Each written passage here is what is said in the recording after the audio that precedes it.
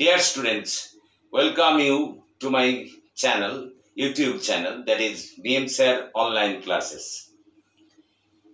তোমরা জানো আমি বিগত কয়েকটি ক্লাস ধরে প্রিপোজিশনের বিভিন্ন ব্যবহার তোমাদের শেখাচ্ছি আজকে আমরা স্পোকেন ইংলিশের ক্ষেত্রে খুবই উপযোগী বা খুবই প্রয়োজনীয় কিছু প্রিপোজিশনের ব্যবহার শিখব এবং সেগুলো হচ্ছে প্রথমেই তোমাদের আজ আমি শেখাবো অন আপন ওভার আন্ডার বিলো আন্ডারনিথ প্রভৃতির মতো যে প্রিপোজিশনগুলো আছে, যার সম্পর্কে তোমাদের নানা ধরনের কনফিউশন হয়, কোথায় কোনটা ব্যবহার করব, সেটা নিয়ে আজ তোমাদের সব ডাউট ক্লিয়ার করে দেবো। পরিষ্কারভাবে শুনতে হবে আমাকে, বুঝতে হবে, তাহলেই কিন্তু বুঝতে পারবে।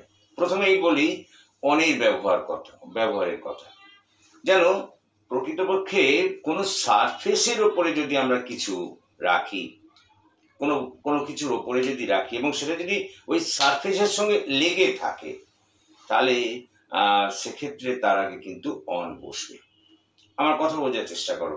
কোনো সারফেস বা কোনো কিছুর ওপরে তুমি কিছু রাখছো, মনে করো টেবিলের ওপরে গ্লাস রাখছো, তো এই গ্লাসটা টেবিলকে কিন্তু টাচ করে আছে। এক্ষেত্রে আমরা বলব the glass is on the table কথাটা বোঝার চেষ্টা করো। বা মনে করো তুমি তোমার মোবাইল সেটটা টেবিলের উপরে রাখছো। তাহলে তুমি বলতে পারবে the mobile set is on the table টেবিলটা এখানে সারফেস এই সারফেসের সঙ্গে ওটা লেগে আছে বলে আমরা ওটাকে অন বলব। তাহলে কোনো কিছুর ওপরে যদি আমরা কোনো বস্তুকে রাখি বা কোনো কিছুকে রাখি এবং সেটা যদি সারফেসের সঙ্গে লেগে থাকে মাইন্ড ইউ তাহলে কিন্তু সেক্ষেত্রে তার আগে অন বসবে। এটা কিন্তু একটা গেল। তাহলে আমরা বুঝলাম যে কোনো সারফেসের ওপরে বা কোনো কিছুর ওপরে অন্য কিছু রাখলে সেটা যদি একে অপরকে টাচ করে থাকে, তাহলে সেক্ষেত্রে কিন্তু অন বসবে। যেমন বললাম the mobile set is on the table I sit on the chair তুমি সিট চেয়ারের উপরে বসছো মানে তোমার সঙ্গে চেয়ারের টাচ হচ্ছে ন্যাচারালি সেক্ষেত্রেও অন বসবে। এরপরে বলি নেক্সট আমরা যেটাকে বলব, সেটা হচ্ছে অ্যাবাব অ্যাবাব মানেও কিন্তু উপরে। অ্যাবাব মানে যেটা তোমার যেটা তোমার উপরে আছে, কোনো বস্তুর ওপরে আছে, কিন্তু বস্তুর সঙ্গে লেগে নেই। কোনো সারফেসের ওপরে আছে, কিন্তু সারফেসের সঙ্গে লেগে নেই, টাচ করে নেই। তাহলে আমরা সেখানে কিন্তু অ্যাবাব বসবো। অনেক সঙ্গে অ্যাবাবের পার্থক্যটা বোঝো। অনেক ক্ষেত্রেও বস্তু কোনো সারফেসের ওপরে আছে, কিন্তু ওই সারফেসের সঙ্গে লেগে আছে। আর অ্যাবাবের ক্ষেত্রেও বস্তু সারফেসের উপরে আছে, কিন্তু সারফেসের সঙ্গে লেগে নেই। যেমন আমি বলি, মনে করো the sky is above our head তাই তো?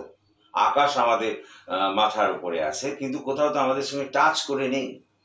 তাহলে উপরে যখন কিছু থাকবে, যদি সারফেসের সঙ্গে টাচ করে থাকে, স্পর্শ করে থাকে, তাহলে তার সেখানে অন হবে। আর যদি উপরে সারফেসের উপরে কিছু থাকে, কিন্তু কোনোভাবে টাচ না করে তাহলে সেক্ষেত্রে অ্যাবাব হবে। অন মানেও উপরে অ্যাবাব মানেও উপরে। আবার দেখো ওভার ওভার মানেও কিন্তু উপরে। ওভারের ক্ষেত্রে বলি, এখানে একটা কথা আছে আমরা তার আগে বিলোটা শিখে নেব, তারপরে ওভার বলব। তাহলে অন আর অ্যাবাবের আমরা দেখলাম অন হচ্ছে কোনো বস্তু যদি ওপরে থাকে এবং সারফেসকে যদি সেটা টাচ করে থাকে, তাহলে তার আগে অন হবে। আর কোনো বস্তু যদি সারফেসের ওপরে থাকে, কিন্তু সারফেসকে টাচ না করে থাকে, তাহলে সেক্ষেত্রে কিন্তু অ্যাবাব হবে। যেমন মনে করো আমি একটু আগে বললাম the sky is above our head আকাশ আমাদের ওপরে আছে, কিন্তু আমাদের সঙ্গে টাচ করে নেই, সুতরাং এক্ষেত্রে অ্যাবাব হবে। এরপরে বলি যে বিলো বিলো বিলো মানেও নিচে, আবার আন্ডার মানেও নিচে। দেখো, বিলো মানে নিচে আন্ডার মানেও নিচে, কোনখানে আন্ডার হবে, কোনখানে বিলো হবে আগে জেনে নাও। কোনো কিছু ঘেরার নিচে যদি থাকে, তাহলে সেক্ষেত্রে আন্ডার হবে, জেনে রাখো। কোনো কিছু ঘেরার মধ্যে মানে চারদিক দিকে যেমন ধরো you are under the tree তুমি গাছের নিচে আছো। গাছ দিয়ে ওপরটা ঘেরা তার তলায় তুমি আছো। বা তুমি বললে যে I am under the bus stop মানে বাসে ওই যে সেট থাকে under the shed of the bus stop bus স্টপে যে সেট করা থাকে, তার নিচে তুমি আছো। ওটা তো ঘেরা জায়গা, তার নিচে থাকছো তাহলে আন্ডার হবে। কতটা বোঝার চেষ্টা করো? বা the cat is under the table টেবিলের নিচে ক্যাটটা আছে। মানে কোনো কিছু ঘেরার নিচে যদি থাকে তাহলে আমরা সেক্ষেত্রে কিন্তু নিচের অর্থে আন্ডার ব্যবহার করব।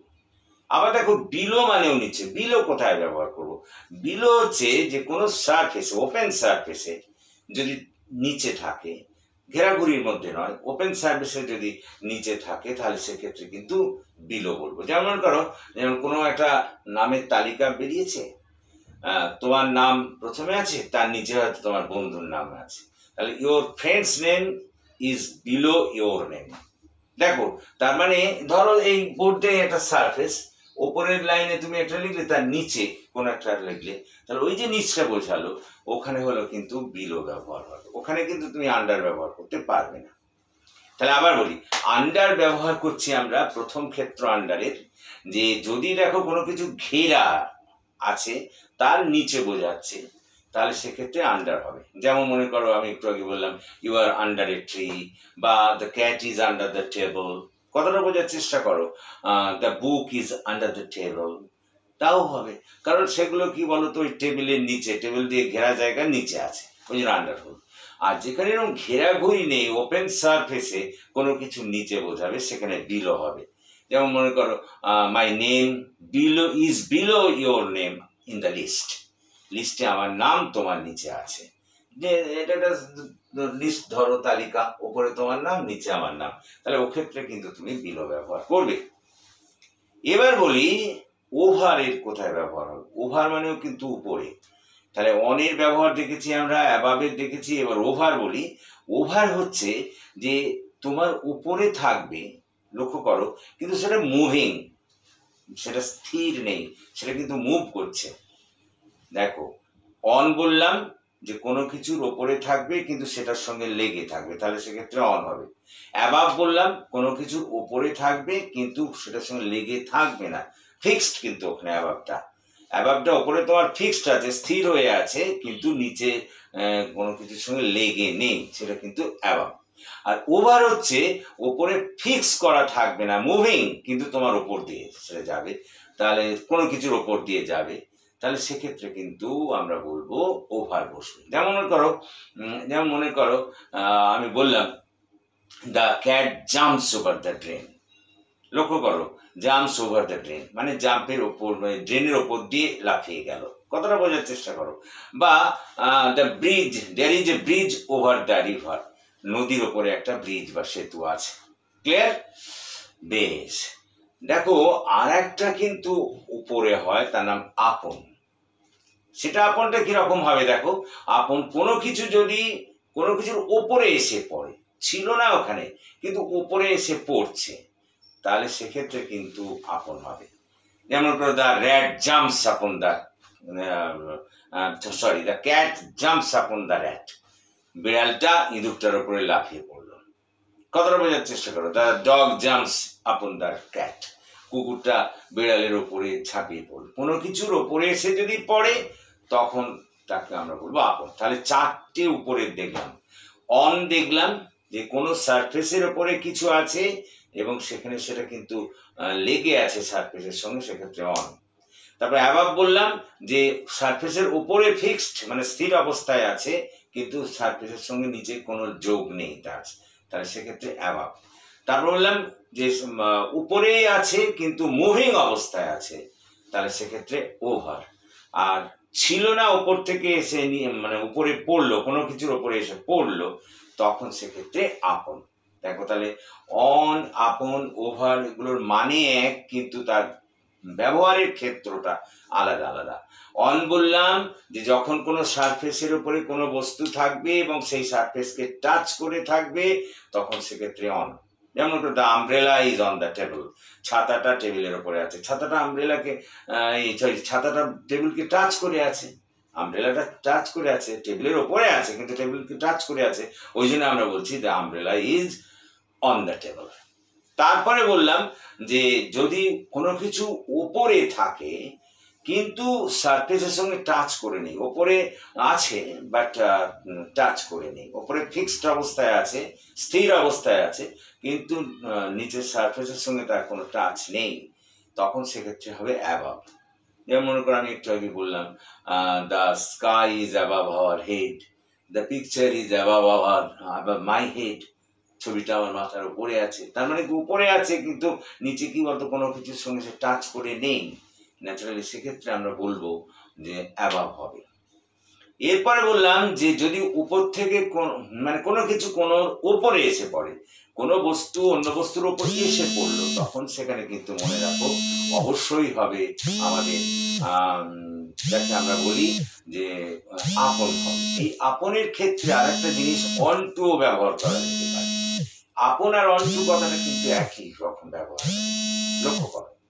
এরপর আমরা যেটাকে বলব that is also very important সেটা হচ্ছে বিলোর কথা বললাম। যে বিলো আর আন্ডার বিলো মানেও নিচে আন্ডার মানেও নিচে। বিলোর ক্ষেত্রে হচ্ছে যে যদি কোনো কিছু মানে মুক্ত অবস্থায় সারফেসের নিচে থাকে, সেক্ষেত্রে বিলো।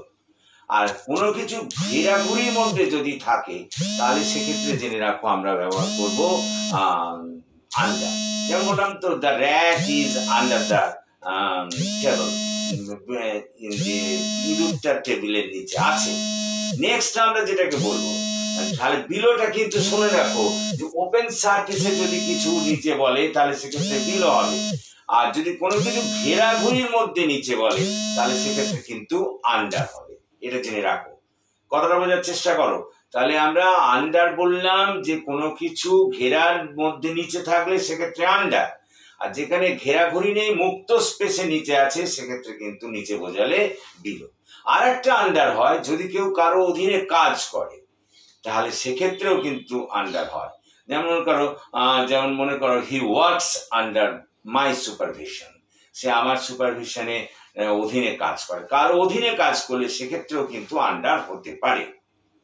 এরপর বলব আন্ডার আন্ডারনিথ আন্ডারনিথ মানে যে ভিতরে কোনো কিছু ভিতরে অন্য কারোর সঙ্গে লাগা থাকলে, লেগে থাকলে, তাহলে সেক্ষেত্রে আমরা বলব আন্ডারনিথ দেখো, যখন ওপরে আমরা অনেক ক্ষেত্রে বলেছিলাম, ওপরে সারফেসের সঙ্গে লেগে থাকছে, সেক্ষেত্রে অন এবার কোনো কিছু ভেতরে যদি একটা অন্যটার সঙ্গে লেগে থাকে, তাহলে আমরা বলব যে সেক্ষেত্রে আন্ডারনিথ হবে। যেমন মনে করো, আমি যদি বলি I have your name I have your নে গেঞ্জি আন্ডারনিথ মাই শার্ট মানে আমার শার্টের নিচে আমি একটা গেঞ্জি পরেছি। তাহলে গেঞ্জি আর শার্টটা ভেতরে লেগে আছে, সেই কারণে সেক্ষেত্রে আন্ডারনিথ হবে।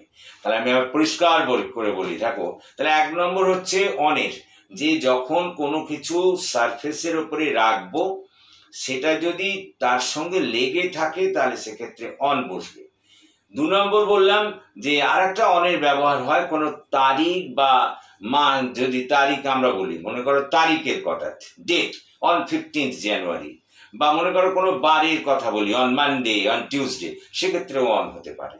তাহলে অন দুটো জিনিসে, একটা কোনো কিছুর ওপরে যখন রাখছো, সেটা যদি তাকে টাচ করে থাকে, তাহলে সেখানে অন হবে। আর একটা অন হচ্ছে যে কোনো তারিখ বা বার বোঝালে, দিন বোঝালে তার আগে অন বসবে। যেমন on Monday on fifteenth January on twenty six January ইত্যাদি। এরপরে বললাম অ্যাবাব যে যেটা উপরে আছে কিন্তু কোনো সারফেসের সঙ্গে টাচ করা নেই। ওপরে ফিক্সড অবস্থায় আছে, কিন্তু তার টাচ করে নেই। তাহলে সেক্ষেত্রে কিন্তু অ্যাবাব হবে। ক্লিয়ার করো ব্যাপারটা। যে উপরে স্থির অবস্থায় আছে, কিন্তু নিচে কোনো কিছুর সঙ্গে, যেমন করো the fan is above my head দেখো উপরে ফ্যানটা আছে, কিন্তু সেটা তো কোনো কিছুর সঙ্গে নিচে টাচ করা নেই। তাহলে ন্যাচারালি সেখানে অ্যাবাভ হবে। আর যখনই ওটা কোনো সারফেসের সঙ্গে টাচ করে যাবে, তখনই সেটা অনে পরিণত হবে। এরপরে বললাম ওভার ওভার বললাম যে উপর দিয়ে যদি কোনো কিছু তোমার চলে যায় মুভিং অবস্থায় থাকে, তাহলে মনে করো সেক্ষেত্রে ওভার হবে। যেমন মনে করো এই ক্রসেস ওভার দ্য রোড মানে কি? সে রাস্তার উপর দিয়ে চলে গেল। He crosses over the road বা the cat jumps over the drain ক্যাটটা জাম্পে জাম্প করে গেল ড্রেনের ওপর দিয়ে। এরপরে বললাম আপন। আপন মানে ওপরে। যদি কোনো কিছু কারও ওপরে এসে পড়ে, তাহলে তখন আমরা বলব আপন বা অন্টুও বলতে পারো। আমি বলছি কোনো কিছু জিনিস রাখা আছে, তার উপরে এসে কোনো জিনিস পড়ল, তাহলে তখন সেখানে আমরা বলব আপন। যেমন মনে করো the cat jumps upon the rat তাহলে ওই ক্যাটটা র্যাটের ওপরে ছাপিয়ে পড়ল। সেক্ষেত্রে তুমি আপন ব্যবহার করতে পারবে। এরপরে বললাম যে বিলো আর আন্ডার আন্ডার বললাম কোনো কিছু ঘেরা বস্তুর যদি নিচে থাকে, তাহলে সেক্ষেত্রে আন্ডার হবে। যেমন কোনো I am under the tree I am under the shade বললাম। এগুলো সব আন্ডার হবে। কথাটা বল আর একটা আন্ডার হবে, যদি কেউ কারও অধীনে কাজ করে, সেক্ষেত্রে কিন্তু আন্ডার হবে। আর বিলো হচ্ছে যে ফ্রি মানে ফ্রি সারফেস ফ্রি সারফেস আছে, সেখানে যে মানে মুক্ত সারফেস তা সেখানে যদি একটার নিচে অন্য আর একটা থাকে, তাহলে সেক্ষেত্রে বিলো হবে। যেমন মনে করো, এটা একটা তালিকা, কোনো প্রথমে যার নাম আছে তার নিচে কারও নাম আছে, তাহলে সেখানে বিলো হবে। মানে মনে করো my name is below your name in the list আমার নাম তোমার নামের নিচে আছে এই তালিকায়। এরপরে আমরা বললাম আন্ডারনিথ আন্ডারনিথ বললাম যে ভেতরে যদি কোনো কিছু দুটো বস্তু লেগে থাকে, তাহলে সেক্ষেত্রে আন্ডারনিথ হবে। যেমন আমি একটু আগে বলছিলাম যে আই হ্যাভ ওন এ গেঞ্জি আন্ডারনিথ মাই শার্ট অর্থাৎ আমি ভেতরে একটা গেঞ্জি পরেছি শার্টের নিচে। অর্থাৎ শার্টটা আর গেঞ্জিটা লেগে আছে ভেতরে, সুতরাং সেক্ষেত্রে আন্ডারনিথ হবে। ক্লিয়ার দেখো, এগুলোই আমরা লিখে রেখেছি এখানে। যে যদি কোনো সারফেসের ওপর কোনো কিছু লেগে থাকে, তাহলে সেক্ষেত্রে তার আগে প্রিপোজিশন হিসেবে অন বসবে। যেমন the paper is on the table তারপরে লিখেছি, যদি কোনো বাক্যে কোনো তারিখ বা দিনের উল্লেখ থাকে, তাহলে তার আগে অন বসবে। যেমন he will come on Friday তারপরে বললাম, কোনো কিছু যদি ওপরে লেগে না থাকে, কিন্তু সারফেসের ওপর স্থির থাকে, তাহলে তার আগে অ্যাবাব বসবে। যেমন the sky is above my head তারপর বললাম, যদি কোনো কিছু মুভিং অবস্থায় সারফেসের উপরে থাকে, তাহলে সেক্ষেত্রে ওভার বসবে। যেমন there a bridge over the river তারপরে বললাম, যদি কোনো সারফেসের উপরে এসে কিছু পড়ে, তাহলে সেক্ষেত্রে তার আগে আপন বা অন টু বসবে। যেমন the cat jumps upon the rat তারপর বললাম, যদি কোনো সারফেসের নিচে স্থিরভাবে থাকে, তাহলে সেক্ষেত্রে বিলো ব্যবহার করতে হবে। যেমন my name is below your name in the list তারপরে বললাম, কোনো ঘেরা সারফেসের নিচে বোঝালে বা কারও অধীনে যদি কেউ কাজ করে, সেক্ষেত্রে আন্ডার বসবে। যেমন মনে করো he works under my team সে আমার টিমের অধীনে কাজ করে। আর আরেকটা ঘেরা বস্তুর নিচে থাকলে, সেখানে the cat is under the table তারপর বললাম, কোনো কিছু নিচে থাকলে তাহলে সেক্ষেত্রে মানে কোনো কিছু নিচে লেগে থাকলে, এই যে বললাম জামা আর গেঞ্জি দুটো ভেতরে লেগে আছে, তাহলে সেক্ষেত্রে কিন্তু আন্ডারনিথ হবে। যেমন আই হ্যাভ ওন এ গেঞ্জি আন্ডারনিথ মাই শার্ট আমার শার্টের নিচে আমি একটা গেঞ্জি পরেছি। শার্ট আর গেঞ্জি সেক্ষেত্রে একে অপরের সঙ্গে ভেতরে লেগে আছে, ওই জন্য আমি তার আগে আন্ডারনিথ ব্যবহার করছি। তোমরা ইচ্ছে করলে এটাকে স্ক্রিনশট নিয়ে নিতে পারো। এখানে সবগুলোই কিন্তু লেখা আছে পরিষ্কার করে, তাহলে তোমরা সেটাকে বুঝতে পারবে। Take that screenshot of this one তাহলে তোমরা সেটা বুঝতে পারবে। ক্লিয়ার তাহলে আজকে আমরা বুঝলাম বুঝলাম অন তারপরে আপন তারপরে অ্যাবাব ওভার বিলো আন্ডার এবং আন্ডার নিট এগুলোর আজকে আমরা ব্যবহার শিখলাম। আশা করি তোমরা বুঝতে পেরেছ? এবং এগুলোকে বুঝতে পারলেই শুধু হবে না। আমি বারবার বলছি you must have to practice এগুলোকে তোমাদের বারবার প্র্যাকটিস করতে হবে। যতবার প্র্যাকটিস করবে, ততই কিন্তু তোমাদের ফ্লুয়েন্সি বাড়বে। বিকজ আমি বারবার তোমাদের বলি practice is the key word in spoken English spoken ইংলিশের ক্ষেত্রে প্র্যাকটিসটা কিন্তু অবশ্যই দরকার। নাহলে যতই আমি তোমাকে এই নিয়ম শিখিয়ে দিই, এতে কিচ্ছু কাজ হবে না if you do not practice আর তারপরে সে একই কথা বলি যে তোমাদের যদি এই ক্লাস ভালো লাগে, তাহলে তোমার বন্ধু বান্ধবদের মধ্যে সেগুলো শেয়ার করো এবং শুধু তাই নয়, তোমরা আমার এই চ্যানেলটিকে সাবস্ক্রাইব করো যাতে আমরা আরও বেশি করে তোমাদের এই বিষয়ে সাহায্য করতে পারি। So that's all for this day have a good day